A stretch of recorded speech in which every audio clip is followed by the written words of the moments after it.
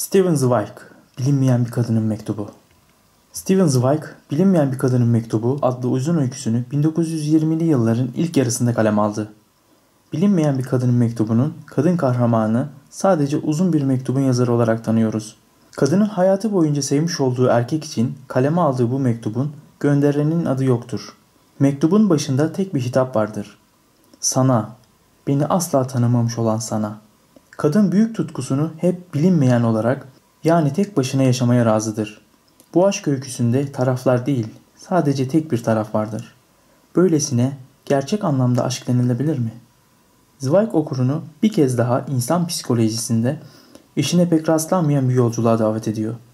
Bu yeni yolculuğun sonunda mutlak aşk kavramının şimdiye kadar bilinmeyen kıyılarına varmayı amaçlamış olması da bir ihtimal.